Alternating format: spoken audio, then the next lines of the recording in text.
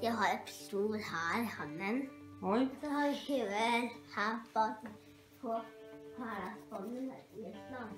var ska du? Eh, Upp, Ska du jaga någonting? ja. Vadå? Uppe. Uppe? Mm, vi ska se vad ska se.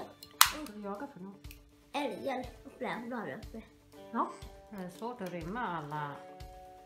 Ja. Så. Det är ganska tungt att vara jägare. Mm. när man ska bära på allting. Då säger jag god jaktlycka. Tack. Hej då!